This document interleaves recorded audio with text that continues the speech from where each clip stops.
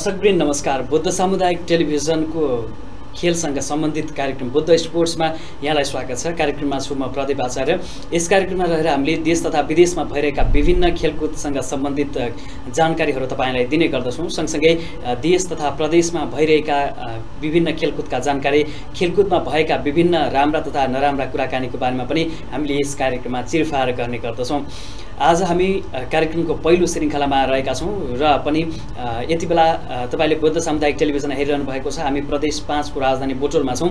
हामीले यस कार्यक्रममा रहेर आजको यस पहिलो श्रृङ्खलामा प्रदेश पाँचमा भए गरेका खेलकुदका क्षेत्रमा घटेका विभिन्न कुराकानीहरू यस कार्यक्रममा आज हामीले जोड्ने प्रयत्न गरेका छौँ। यसै बिचमा अ, हामीले पहिलो कार्यक्रममा कुराकानीको लागि निम्ताएका छौँ।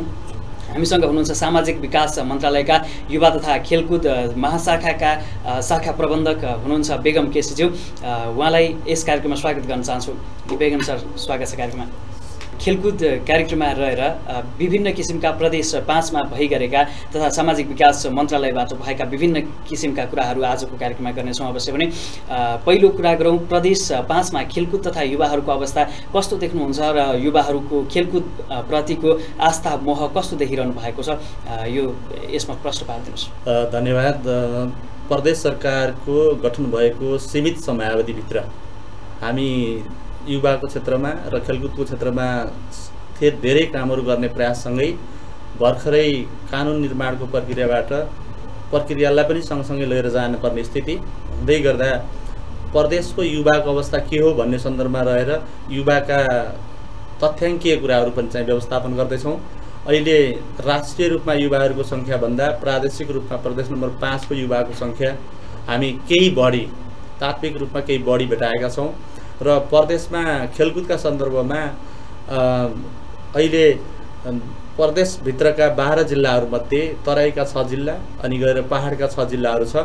जुन तराईको छ जिल्लामा खास गरी क्रिकेटका गतिविधिहरू अलिक ठुलो सङ्ख्यामा अलिक बाक्लो सङ्ख्यामा सञ्चालन भएको भेटिन्छ भने पहाडतिर चाहिँ भौगोलिक एक्सेसका कारणले हुनसक्छ।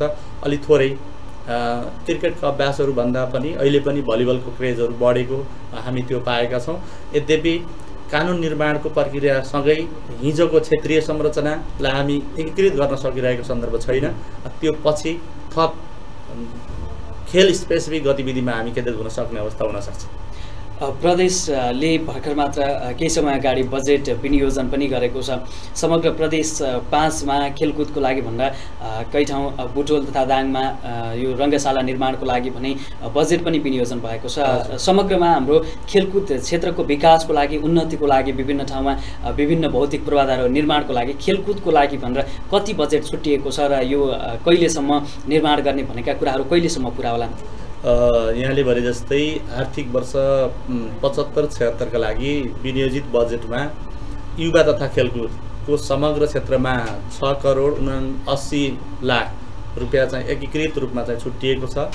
जसमध्ये यहाँले भने जस्तै यसमा खास कार्यक्रमका रूपमा हेर्नुभयो भने शिक्षकलाई खेलकुद शिक्षकहरूको लागि अभिमुखीकरण अनि प्रादेशिक खेल खेलाडीहरूको लागि प्रोत्साहन अनि राष्ट्रपति रनिङ सिल्ड प्रतियोगिता सञ्चालन अनि विभिन्न खेल सम्बद्ध संरचनाहरू त्यो पनि रङ्गशालाको माध्यमबाट विभिन्न इन्डोर आउटडोर गेमको लागि हुने संरचनाहरू निर्माणको लागि भनेर यो छुट्याइएको छ। भने हिजोका दिनमा निर्मित रङ्गशालाहरू अथवा भौतिक संरचनाहरू निर्माणको लागि संर संरचना सुधारको लागि भनेर पनि चाहिँ बजेट छुट्टिएको छ। यद्यपि यो बजेटको भोल्युम थोरै भए पनि चाहिँ प्रदेशले सुरुवाती क्रममा लिएको बजेट चाहिँ सबै क्षेत्रलाई करिब ओगट्न समेट्न खोजेको चाहिँ हामीले अनुभूति गरेका छौँ। यो गरिरहँदा अब जुन हामीले निर्माण गर्ने भनेका कुराहरू छ जुन हामीले जे कामको लागि बजेट छुट्याएका छौँ त्यो बजेटले कहिलेसम्म काम गर्छ अथवा कहिलेसम्म भनेको अहिले तत्कालीन अवस्थामा कुरा गर्ने हो भने असारे विकास अलिक बढी देखिन्छ। समय सकिँदै गर्दा मात्रै बजेट खर्च गर्ने प्रचलन पनि छ। खेलकुदको क्षेत्रमा यो हुन्छ कि हुँदैन या त केही नियम कानुनहरू केही बनिसकेपछि यो केही हुने हो के छ अवस्था? हजुर। यहाँले भने जस्तै बजेट जुन खालले विनियोजन भएको छ हामी त्यो बजेटलाई समयमै खर्च गर्नका लागि हामी कटिबद्ध छौँ। यद्यपि यहाँले भने जस्तो अहिले पनि खेलकुद सङ्घ र प्रदेश र स्थानीय तहको साझा सूचीमा साझा अधिकार क्षेत्रको विषय हो। यसकारण पनि हामी नितान्त प्रदेशले मात्रै छुट्टै रहेर चाहिँ त्यो ऐन बनाउन सक्ने कानुन बनाउन सक्ने सन्दर्भ होइन। यसकारण पनि हामी केही समय पर्खिरहेको सन्दर्भ छ र केही खेल सम्बद्ध र केही युवा सम्बद्ध ऐन अथवा नियमका ड्राफ्टहरू हामी प्राप्त गरिसकेका छौँ। भने अब छिटोभन्दा छिटो हामी ती ऐनलाई नियम र कानुन सम्बद्ध गतिविधिलाई अगाडि बढाउँछौँ र सकेसम्म तोकिएकै समयमा ती योजनाहरू सम्पन्न गर्नका लागि हाम्रो संरचना र हाम्रा ती कानुन सम्बद्ध बाटाहरू चाहिँ सँगसँगै अगाडि बढाउँदाखेरि चाहिँ त्यो सकिन्छ। भन्ने कुरा म यहाँहरूमा प्रस्तुत गर्न चाहन्छु। बाह्र जिल्ला जोडेर बनेको यो पाँच नम्बर प्रदेशमा युवाहरूको सङ्ख्या अन्य जिल्ला अन्य प्रदेशहरूको तुलनामा अलिक उल्लेखनीय पनि छ। यो भनिरहँदा हामीसँग खेलाडीहरू के कस्तो अवस्थामा हुनुहुन्छ जुन विभिन्न किसिमका खेलहरू खेलिरहनु भएको छ केही खेलाडीहरू यतै क्षेत्रका भनेको प्रदेश नम्बर पाँचका क्षेत्रका खेलाडीहरू पनि विभिन्न राष्ट्रिय टिमहरूमा छनौट भएर विभिन्न कुराहरू खेलहरू राम्रो प्रदर्शनहरू पनि गरिरहनु भएको छ। अब नयाँ खेलाडीहरू जुन नयाँ सिक्दै गरेका अवस्थाका हुनुहुन्छ जुन जिल्लागत लेभलमा अथवा क्लब स्तरीय खेलहरू खेलिरहनु भएको छ। उहाँहरूको स्तर विकास तथा उहाँहरूलाई अलि राम्रो माथिल्लो स्तरसम्म पुर्याउनको लागि प्रदेश सरकारले के गर्न सक्छ अब?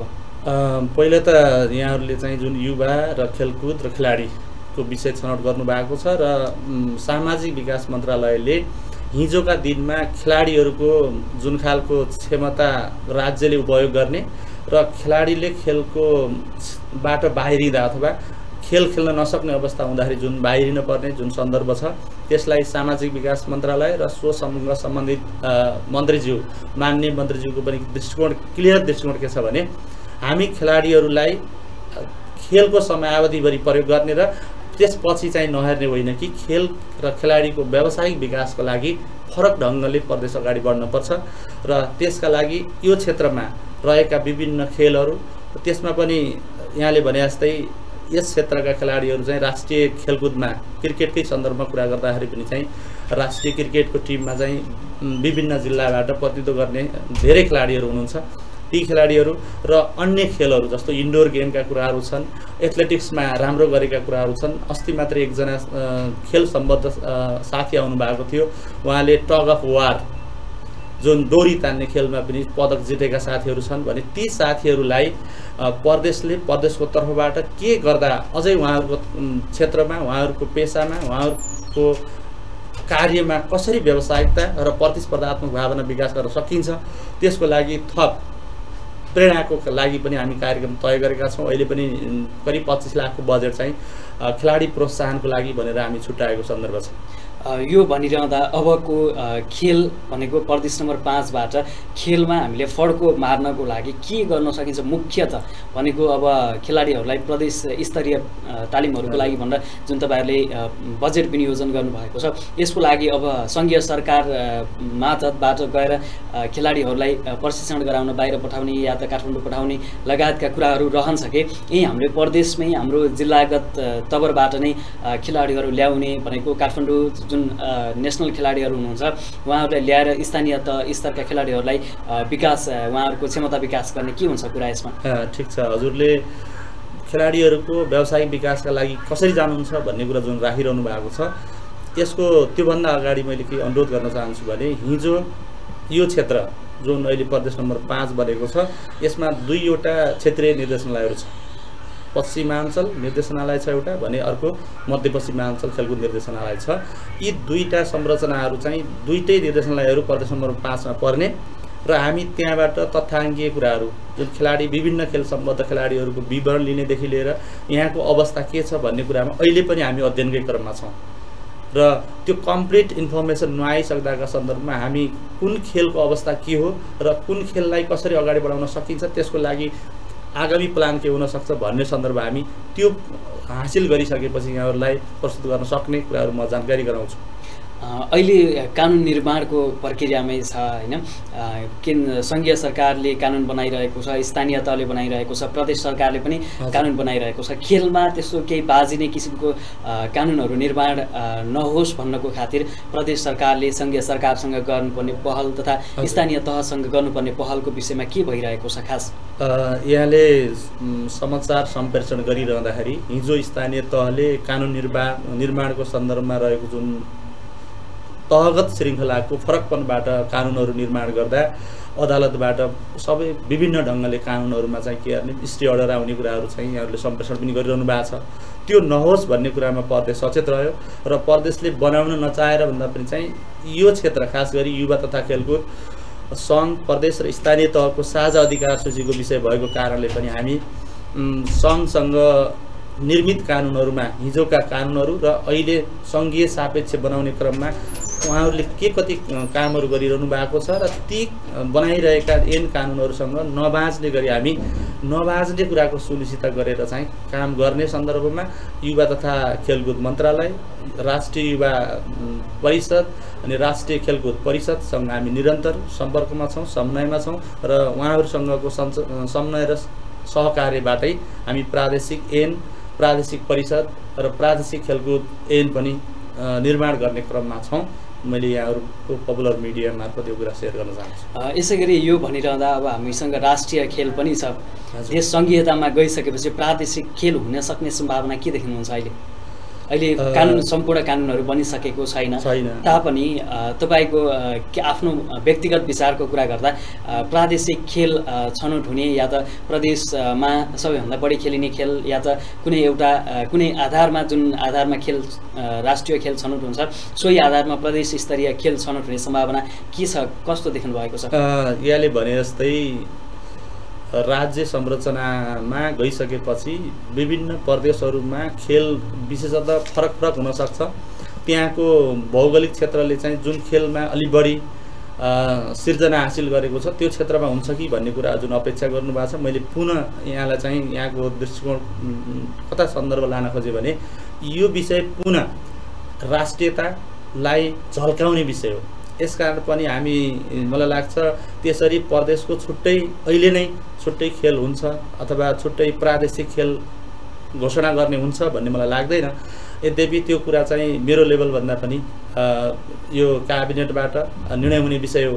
यद्यपि सङ्घीय सरकारले राष्ट्रिय रूपमा र यो विषय नै एकल अधिकार सूचीको विषय नभएर साझा अधिकार सूचीको विषय भएको कारणले प्रादेशिक रूपमा भन्दा पनि राष्ट्रिय रूपमा रहेको जुन खेल छ राष्ट्रिय खेल छ त्यसलाई नै अहिलेसम्म चाहिँ राष्ट्रिय खेलकै रूपमा अगाडि बढ्ने हुन्छ होला भन्ने धारणा म व्यक्त गर्न चाहन्छु। यसै भनिरहँदा जुन हाम्रो बाहिर फिल्डमा खेलिने खेलहरूभन्दा इन्डोरमा हुने खेलहरू जहाँ अलिकति सेपरेट तरिकाले भित्र खेलिन्छ त्यो खेलहरू बाहिर ल्याउन सकिएको छैन। जति पनि खेलहरू भइरहेको छ देश तथा विदेशमा बाहिर खेलिने खेलमा अलि राम्रो पर्फर्मेन्स पनि देखिरहेको छ होइन? अब यो इन्डोर हुने खेलहरू जुन अलिकति भित्र हुन्छ सानो ठाउँमा खेल्न मिल्छ त्यो खेलहरूको विकासको लागि मानिसलाई प्रचार प्रसार गर्नको लागि पनि के छ अब प्रदेश सरकारले कसरी खेलाडीहरूलाई प्रोत्साहन गर्ने खेलकुद सङ्घ संस्थाहरूलाई प्रोत्साहन गर्ने के छ अवस्था के रहन्छ यसमा? सन् यस सन्दर्भमा खास गरी मैले अघि पनि भने हामी विभिन्न जिल्लाहरूको खेलको पूर्वाधारको अवस्था हेर्दाखेरि सबै जिल्लामा अहिले पनि चाहिँ इन्डोर गेमहरू खेल्नको लागि सबै ठाउँ संरचना पुगिसकेको सन्दर्भ छैन। यसकारण पनि खेलकुद विकासको लागि पहिलो आवश्यकता भनेको पूर्वाधार हो भन्ने कुरा चाहिँ हामीले ठहर गऱ्यौँ र अहिले खेलकुदका सन्दर्भमा इन्डोर गेम सञ्चालनको लागि चाहिँ जुन जिल्लाहरूमा चाहिँ एउटा पनि त्यो खालको संरचना छैन त्यहाँ हामी प्राथमिकता क्रम निर्धारण गरेर ती ठाउँमा इन्डोर गेमका लागि पनि चाहिँ संरचना निर्माणको लागि हामी प्राथमिकता निर्धारण गर्दैछौँ। र त्यो भइसकेपछि अब त्यस्ता खेलहरूमा प्रादेशिक खेल खेलाडीहरूको गतिविधि कस्तो हो? उहाँहरूको स्थिति कस्तो हो? र उहाँहरूले के कति गरिरहनु भएको छ र कस्तो खालको अपेक्षा गरिरहनु भएको छ प्रदेश सरकारबाट? त्यो खेल खेल सम्बद्ध खेलाडीहरू र खेल सम्बद्ध अन्य सरकारवालाहरूसँग राखेर हामी प्रादेशिक तहबाट चाहिँ एक खालको इन्टरेक्सन गरेर अन्तर्क्रियात्मक कार्यक्रमबाट नै उहाँहरूको एसपिरेसनका आधारमा आगामी कार्यक्रमहरू तय गर्न सकिने हुनसक्छ यो भनिरहँदा प्रदेश स्तरीय जुन राष्ट्रिय स्तरीय राष्ट्रिय स्तरका खेलाडीहरू भनेर हामीले भन्ने गर्छौँ। सबैले भनेर राष्ट्रिय स्तरका खेलाडीहरू भनेरै नै सम्बोधन हुने गर्छ। सङ्घीयतामा गइसकेपछि प्रादेशिक स्तरका प्रादे प्रदेश स्तरका खेलाडीहरू भनेर सम्बोधन गर्ने अवस्था आउँछ। के छ अवस्था? होइन यहाँले भने जस्तै प्रदेशबाट राष्ट्रिय तथा अन्तर्राष्ट्रिय रूपमा जुन खालको प्रतिनिधित्व गरिरहनु भएको छ खेलाडी साथीहरूले उहाँहरूलाई प्रादेशिक पहिचान दिने कुरामा हामी दिनुपर्छ र दिने कुरामा चाहिँ प्रदेश सरकारले कम्प्रोमाइज कन्जुसाइ गर्नुपर्ने केही पनि छैन। किनकि त्यो प्रादेशिक पहिचानका गहनाहरू हुन् उनीहरू। र त्यस्ता खेलाडीहरूलाई चाहिँ हामी उहाँहरूको वृत्ति विकासको लागि थप के गर्न सक्छौँ र उहाँहरूको राष्ट्रिय तथा अन्तर्राष्ट्रिय रूपमा खेलिसकेका साथीहरूको अनुभवले आगामी दिनमा अन्य क्षेत्रमा गरिरहेका यसै प्रदेशका अन्य त्यस्ता युवा शक्तिहरू युवा खेलाडीहरू चाहिँ जेनेरेट गर्नको लागि उहाँहरूको अनुभवलाई कसरी प्रयोग गर्न सक्छौँ भन्ने कुरामा चाहिँ हामी केन्द्रित हुने हुनसक्छ र त्यसरी नै खेलाडीहरूको व्य- व्यावसायिक विकासको लागि चाहिँ पहल गर्ने हुनसक्छ। यो सँगसँगै अहिले पछिल्लो समय आठौँ राष्ट्रिय खेलकुद पनि यही हाम्रो प्रदेश नम्बर पाँचमा हुने भन्ने कुरा बाहिर आएको छ होइन। यसको तयारीको अवस्था के भइरहेको छ होइन? यो एउटा प्रदेश गठन भइसकेपछि हुँदै गरेको एउटा ठुलो खेल हो जुन हाम्रो प्रदेश नम्बर पाँचको नेपालगञ्जमा हुँदैछ। के छ अब यसको तयारी के भइरहेको छ? के छ अवस्था? अब कहिलेसम्म सम्पूर्ण तयारीहरू पुरा भइसक्छ? के छ अवस्था? मैले क्षेत्रीय खेलकुद निर्देशनालय मध्यपश्चिमाञ्चलसँग गरेको समन्वय र सञ्चारबाट प्राप्त सूचना के हो भने आठौँ अन्तर्राष्ट्रिय सरी आठौँ राष्ट्रिय खेलकुदका लागि पैँतिसवटा विधामा खेल प्रतिस्पर्धा हुँदैछ। र त्यो मध्ये चारवटा विधामा बर्दिया जिल्लामा चारवटा विधाको प्रतिस्पर्धा हुँदैछ भने सातवटा विधाको प्रतिस्पर्धा दाङमा गर्ने गरी अन्य बाँकी विधाका प्रतिस्पर्धाहरू चाहिँ नेपालगञ्ज खेल मैदानमै रङ्गशालामै रहने गरी तयारी हुँदैछ र मैले प्राप्त जानकारी अनुसार खेलका खेल सम्बद्ध विभिन्न नारादेखि लिएर चाहिँ खेलका अन्य गतिविधिहरू चाहिँ जुन कानुनत र खेललाई बाहिर लैजाने बेलामा पस्कने बेलामा चाहिने आधारभूत कुराहरूमा तयारी भइसकेको छ। र मङ्सिरमा सम्पन्न हुने जुन खेल हो त्यसका लागि एकदमै द्रुत गतिमा चाहिँ तयारीको गतिविधि अगाडि बढेको छ भन्ने कुराहरू चाहिँ मैले रेस्पोन्स पाएको छु। यही कुरा मैले यहाँहरू बिच सेयर गर्न चाहन्छु। दर्शकबिन हामीले कार्यक्रम बुद्ध स्पोर्ट्समा कुराकानी गरिरहेका छौँ। हामीसँग प्रदेश नम्बर पाँचका सामाजिक विकास मन्त्रालयका युवा युवा तथा खेलकुद महाशाखा शाखाका शाखा प्रबन्धक बेगम केसी हुनुहुन्छ। उहाँसँग प्रदेशमा भइरहेका र हुँदै गरेका विभिन्न किसिमका जानकारीहरू लिइरहेका छौँ र तपाईँहरूलाई जानकारी गराइरहेका छौँ र कुराकानीलाई अगाडि बढाउन चाहन्छु। यो भनिरहँदै गर्दा हामी प्रदेश सरकार आइसक्यो भनिरहँदै गर्दा खेलकुदलाई सबै क्षेत्रबाट अलिकति पछाडि पारिएको अवस्था पनि छ। हुन त खेलकुदको समयमा धेरै राम्रा व्यक्तित्वहरू पनि जन्मिनु भएको छ राम्रा कुराहरू पनि भइरहेका छन् होइन?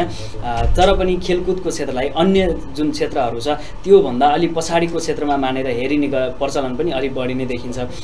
यसलाई अगाडि बढाउन जुन खेलकुद अ, बाट जीवन निर्वाह गरिरहनु भएका अ, खेलाडीहरू जुन हुनुहुन्छ खेलकुद अ, मै आफ्नो समय व्यतीत गर्नुभएका उहाँहरूलाई केही सहयोग गर्ने पनि तपाईँहरूको योजना रहेको कुरा जानकारी गराइसक्नु भएको छ होइन? यो भनिरहँदै गर्दा अब खेलकुद खेलाडीहरूलाई आफ्नो मनोबल वृद्धि गर्नको लागि खेलकुद क्षेत्र पनि अ, सानो क्षेत्र होइन। यसलाई जुन मानिसहरूले बुझ्न नसकेका हुन् कि के हो भन्ने कुरा यो जुन प्रदेश सरकारले केही स्पष्ट पारिदिन सक्छ या त यो खेलकुद क्षेत्र सानो होइन भन्ने कुनै केही आधारहरू छ जुन मानिसहरूले सोचिरहने कुरा गर्दा खेलकुद क्षेत्र अलिक पछाडिको क्षेत्र मान्ने गर्दछ। यसमा के भन्नुहुन्छ? यहाँले उठाए जस्तै शिक्षा र खेलकुद यी विभिन्न फरक कुरा हुन् भन्ने खालको जुन आधारभूत बुझाइ छ। आम नागरिकहरूमा चाहिँ पढ्ने हो बच्चाले बच्चा भइसकेपछि पढ्नुपर्छ भन्ने कुराहरू जुन छ।